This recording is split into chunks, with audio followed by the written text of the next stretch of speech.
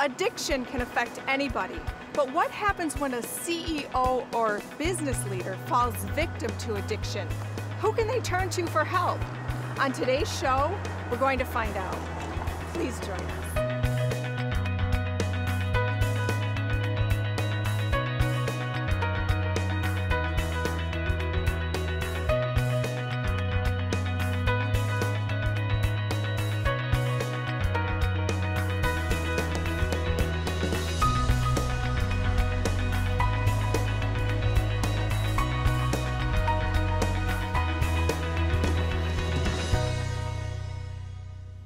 To My Healthy Mind. I'm Michael Hunter, and this is Elizabeth Atkins. Hello. On My Healthy Mind, we talk about healthcare issues such as mental illness and substance abuse that people struggle with on a daily basis. Our guests include people who have stories of triumph because they have overcome those issues and now want to share their experience with others so that they can have a successful life as well. You, our viewers, are in for a treat when you hear the messages from our experts because they give us resources to use so that we too know where to go for help so that we can overcome as well. Elizabeth, what are we talking about today? We are speaking with Therese Marie, a recovery coach who specializes in helping CEOs, business owners, and executives. Therese Marie is going to share with us the very unique issues that executives face when dealing with addiction. Not only is she going to talk about being a recovery coach, but she's going to share her very personal journey of dealing with addiction herself, running a successful business, and helping others. In addition, we have Shannon Roselle of Solid Landings, a long-term treatment program for executives with addiction and she will be talking about the many options that are available for executives who are dealing with addiction. So it's going to be a wonderful show, very informative. Please join us after this short break.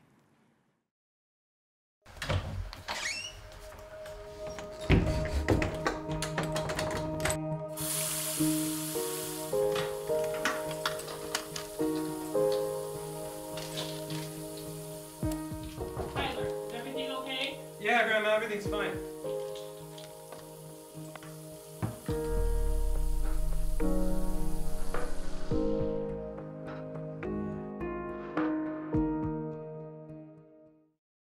I was feeling so alone. I was going through a really difficult time. I didn't want to bother anyone. I didn't think they'd understand. It was tough at first, but I did it. I'm glad I asked for help. I asked my teacher. I asked my dad. You can do this. Whatever it is, ask for help. If you're thinking about suicide or need support, call the Trevor Lifeline. Trained counselors are there to help 24 7. It began with my big toe. That was my first amputation that I had. Buerger's disease, it's a vascular disease brought on by smoking. My fingers started to go piece by piece. First, it was my left leg. After my left leg, it was my right leg. And so now I'm a double amputee, all from smoking. My tip to everyone is don't believe that this can't happen to you because it can. You can quit. For free help, call 1 800 QUIT NOW. Welcome back to My Healthy Mind. Joining us today is Therese Marie, who is a recovery coach for CEOs and other leaders who are going through addiction or alcoholism. Yes. Welcome. Thank you for having me. Therese, when we hear about alcoholism and addiction, we probably have heard that term a lot in our lives. But what makes it different for a CEO or a leader versus someone else? Well, there's really three things that I've noticed uh, make them a little bit different than the average person. First, just by the nature of their position, they're isolated. Um, they're in the corner office or the ivory tower, or they're the, uh, the emperor. Nobody has permission to tell the emperor that he has no clothes on, right? Um, the other thing that makes it a little bit different is um, the nature of a corporation is a system that is based on efficiency, and so they're going to clean up after any mess that might happen, right? So they're getting in between the alcoholic CEO or the alcoholic leader and the natural consequences of his or her behavior. And the other thing that I think impacts uh, CEOs and leaders of organizations more than the average person is within the business community a general uh, lack of understanding of what the disease of alcoholism is uh, among HR professionals, among just people who work for leaders. Uh, it's not commonly known what the disease is all about. So, Therese, you have more than 20 years' experience in human resources. What inspired you to become a recovery coach? Well, I was in the staffing industry for about 20 years, and then I transitioned into coaching uh, specifically to help leaders in career transition. And what inspired me to become a recovery coach was my own recovery. I got into recovery. And I got into recovery because I was affected by the disease of addiction within my marriage. And it's a, a, disease that takes down everybody around the, around the addict. I'm sure you've seen some of the statistics that talk about that. For every one alcoholic or one addict, at least 15 people around them are, are directly affected in the fam- within the family, within the workplace. And that's what happened to me was I became consumed with the behavior of the addict in my life and with that behavior and I couldn't focus. I couldn't focus on my business. I couldn't focus on, on getting new clients. And inevitably what happened was I had to file bankruptcy. I left my marriage, I lost my home, everything fell apart. Uh, so I had to get into recovery, and I got into recovery for into a program for friends and families of alcoholics and addicts, and I started to piece together my life during that process, I also realized that I too am an alcoholic. And I got into recovery for that. So this all happened within uh, me in my business struggle, trying to put it all together. And what I found was I had great support on the recovery side from a, uh, the recovery community. And I had great support from my executive coach, but he had no experience in recovery. Something was missing. And that's how my practice actually evolved was through my own experience. And I knew I was not the only business leader who needed to put back together their business life within the context of healthy recovery from alcoholism. So tell us, what is a recovery coach? And then how did your experience turn into you becoming a recovery coach?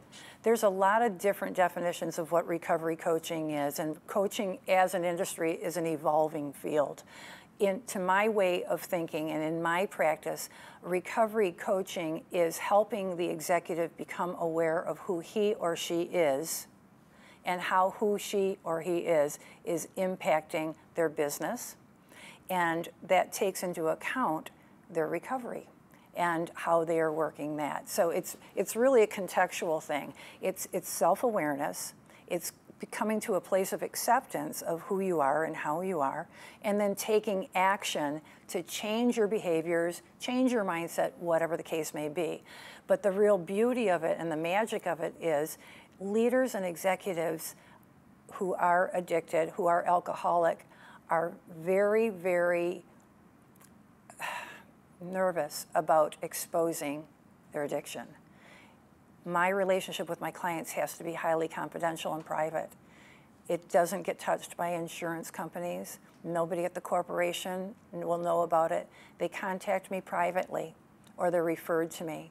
And they want to talk to somebody that will not reveal what's going on in their life outside the confines of the, of the coaching session. So it's really a, a process of self awareness, accepting who you are, being in a safe place with a coach to work out possible solutions where there's no risk, where there's nothing at stake. They can't go into the office, if they're the CFO, they can't go into the office and bounce ideas off their CEO. That might sound kind of crazy to that CEO if they don't happen to be an addict, right? So it gives them a safe place to work those things out. Thank you, Therese Marie, for sharing your very personal journey. You're very welcome. We'll hear more from Therese Marie about the recovery coaching process. And coming up next, we'll talk with Shannon Roselle of Solid Landings about treatment options that are available for alcoholic executives. We'll be right back.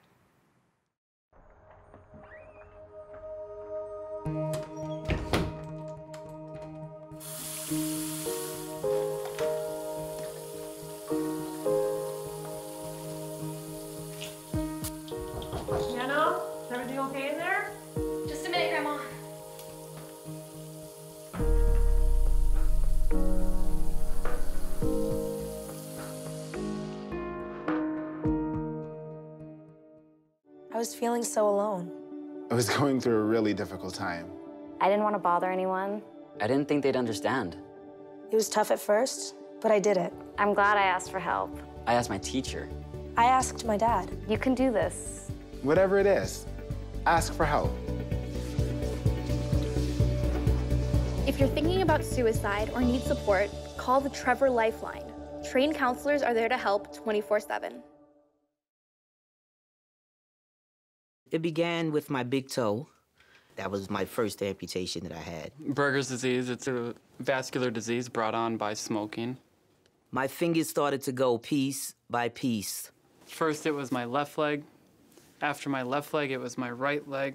And so now I'm a, a double amputee, all from smoking. My tip to everyone is don't believe that this can't happen to you because it can.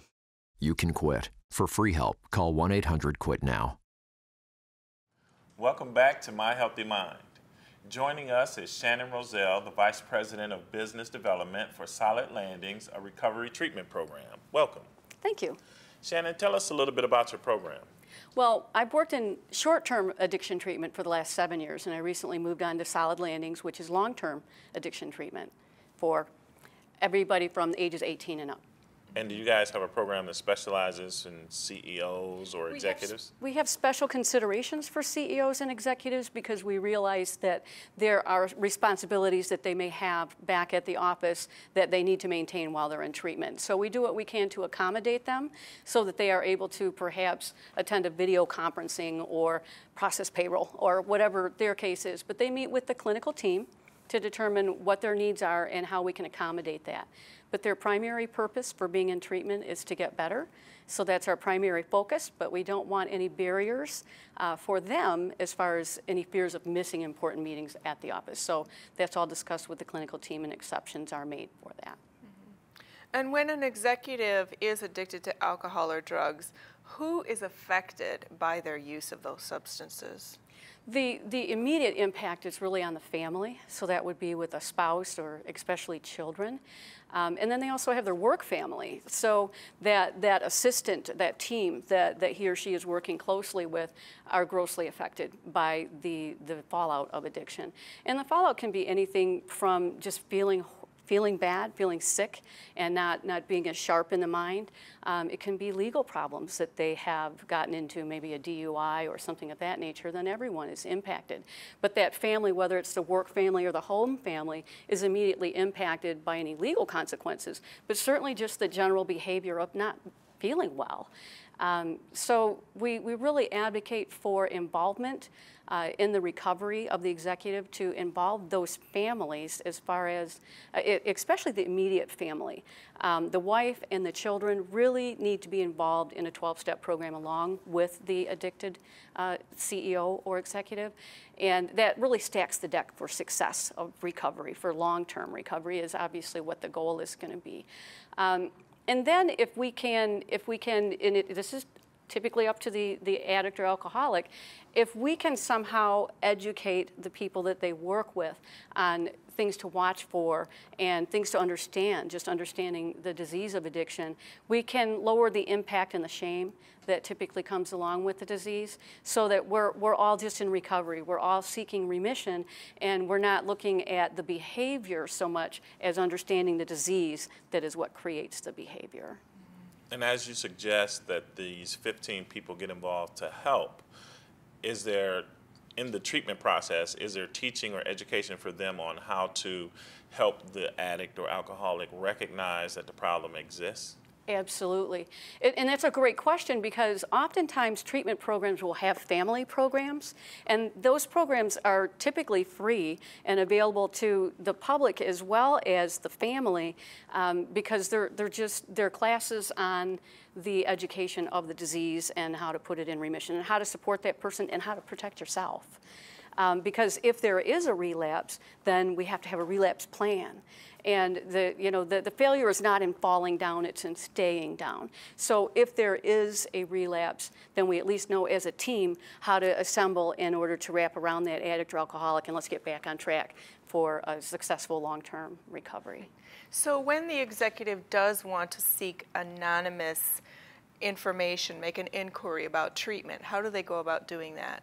Well, we're all professionals, so whether they call a short-term treatment or a long-term treatment, anybody that calls me, I have a, a cell phone that is 24/7.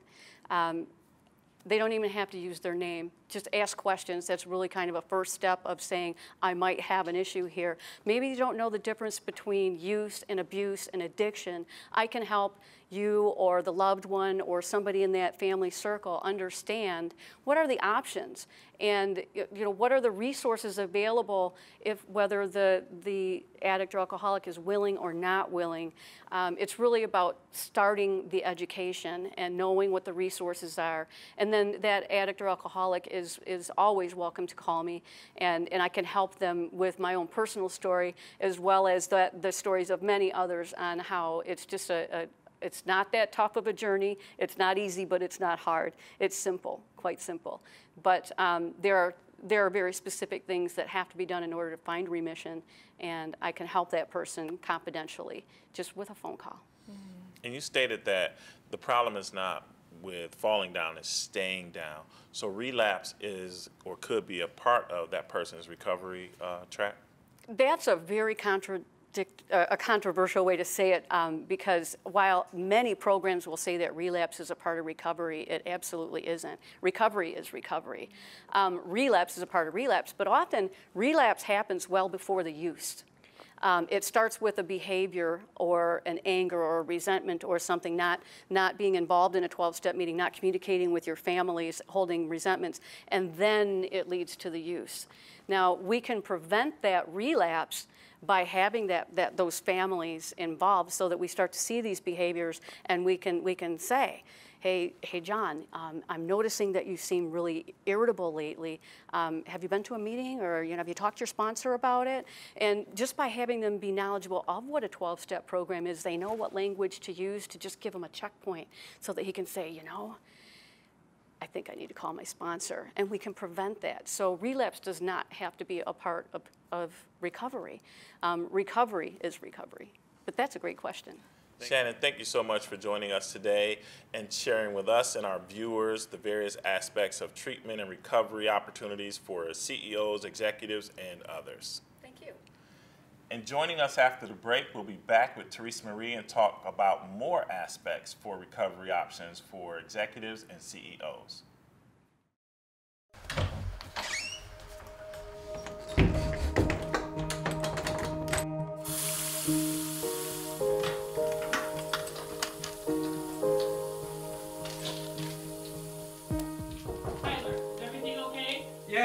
Everything's fine.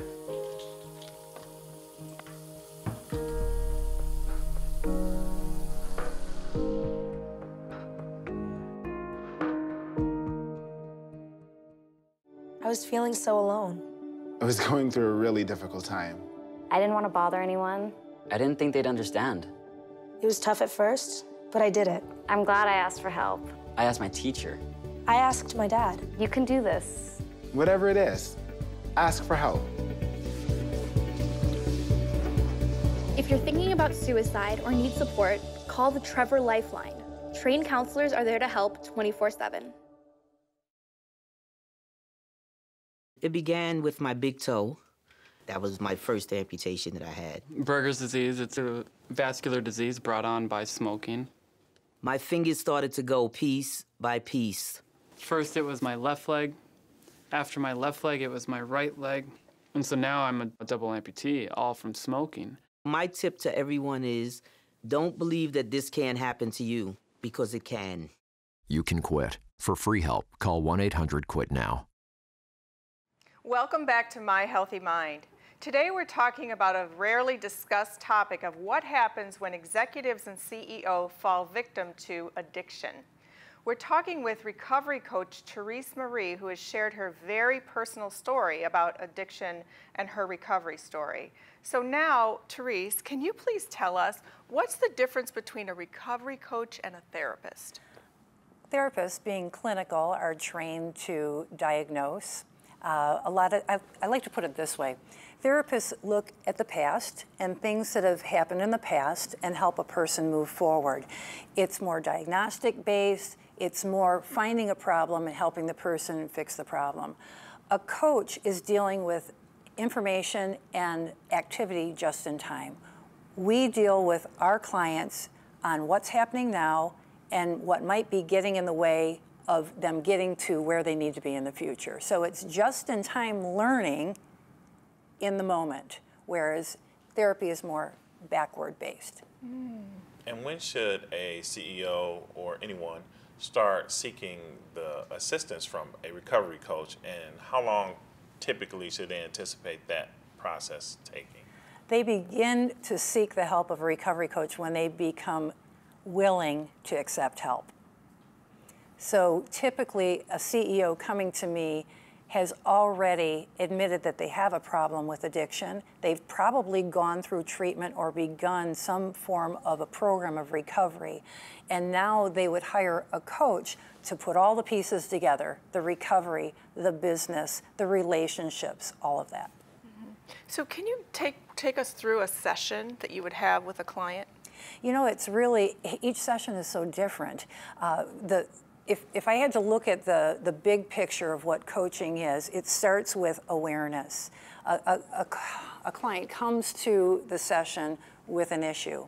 The coach helps that person become aware of what's going on in that moment by asking questions. It's like a football coach. They're not on the field playing the game. They're watching on the sidelines and holding up the mirror and letting the players see what's going on. This is what I'm observing. That's what a coach would do. Ask questions to bring information out of the CEO. And as the coach is watching the game, let me give you a scenario. In business, oftentimes the CEO and other executives are going to have a lot of meetings over cocktails. So if a person is in recovery, especially if they're trying to make that recovery as anonymous as possible, what kind of techniques should they anticipate learning when it comes to those kind of lunches, dinners, evenings over cocktails? A lot of those topics are handled within the context of a person's recovery. With their sponsor, if they're working a 12 step program, they'll be talking about things like that. But again, clients of mine, those are things that they'll bring up you know how do i how do i handle that? And it's different for every person. See that's that's another part of coaching that's a little bit different than training. There's not a book. There's not a playbook.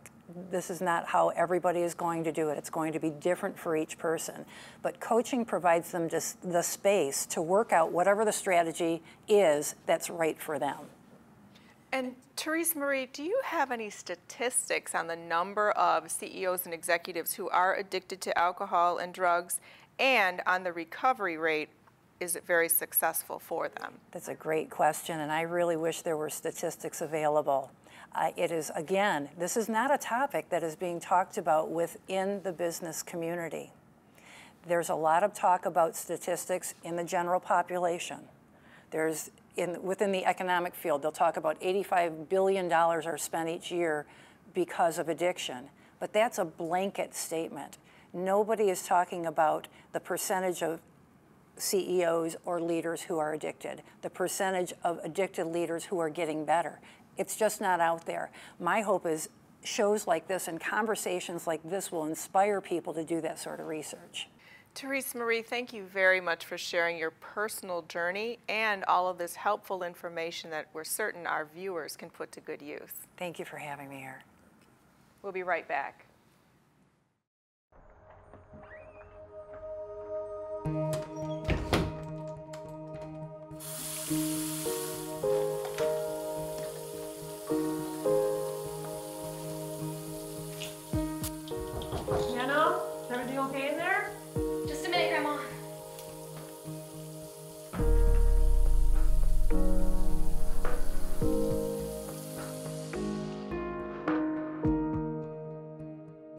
I was going through a really difficult time. I didn't want to bother anyone. I didn't think they'd understand. It was tough at first, but I did it. I'm glad I asked for help. I asked my teacher. I asked my dad. You can do this. Whatever it is, ask for help.